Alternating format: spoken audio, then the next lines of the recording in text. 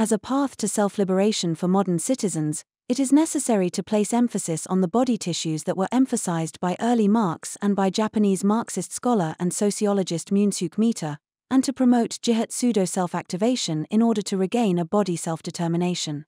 This presentation is that the seeds of this can be found in the practice of Ogawa Yasushi, the first Japanese doctor of Tibet. Looking at the current situation, the socialism advocated by Marx has not been successful as a nation or a movement. However, Marx's analyses and perspectives, particularly those of the early period, raise important issues that are connected to the theory of the body. For example, the German ideology states The first premise of all human history is, of course, the existence of living human individuals. Thus, the first fact to be established is the physical organization of these individuals and their consequent relation to the rest of nature.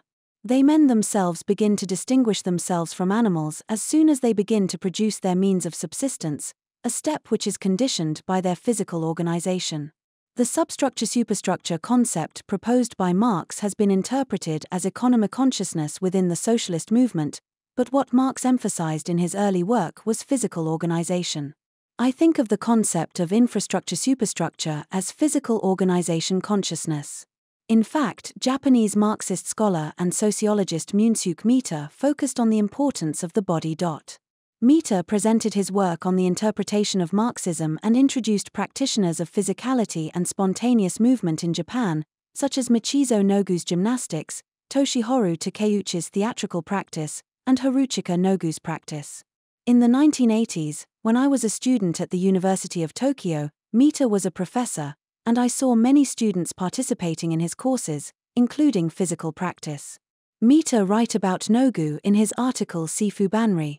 Haruya Nogu, who has devoted himself to treatment for 30 years, has come into touch over 1 million vertebrae.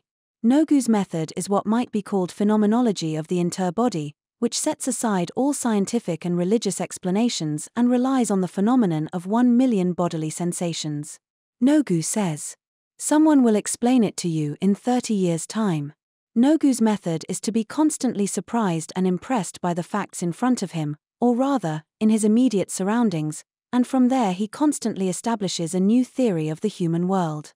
As chairs Tetsuro Tanajiri and Laura Lopez Koto noted, the practice of Nogu Haruya, which Mita focused on, is spreading not only in Japan but around in the world.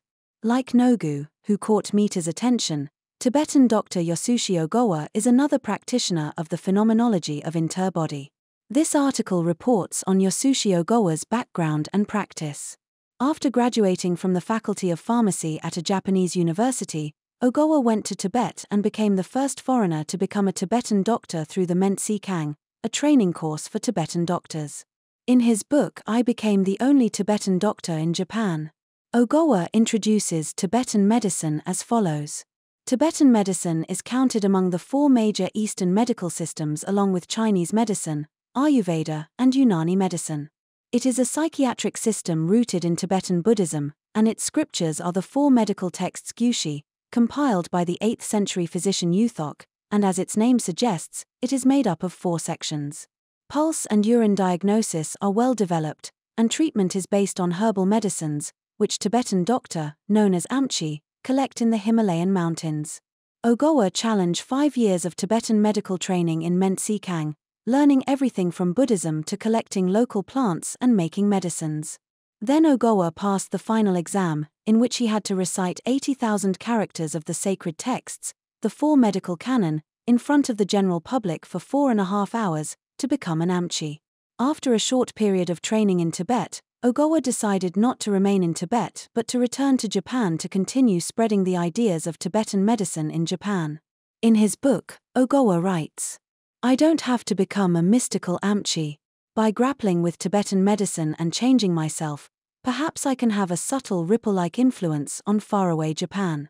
In 2009, he opened the forest medicine private school Mori no Kusuri Juku in Matsumoto, Nagano Prefecture, where he practices medicine and gives lectures all over Japan. People from all over the country, including those interested in Tibet and Tibetan Buddhism, medicinal plants, and spontaneous movement and natural healing powers, have invited him to give lectures. Ogawa also holds experimental courses on the process of making medicine from herbs. In recent years, the subject matter has expanded, and he has held discussions with people in the fields of art and cultural anthropology, lectured at academic conferences such as the Japan Society of Oriental Medicine and the Japan Society of Traditional Acupuncture and Moxibustion, written for the specialist journal Cell Applied Cellular Complementary and Alternative Medicine Volume 2, and lectured to medical school applicants. From the above report, I think that there are three significances to Ogawa's practice.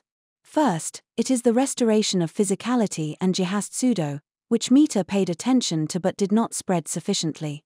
Tibetan medicine itself is a system in which one's own body tissues are used to utilize natural plants in nature, and participants in Ogawa's courses are able to realize this.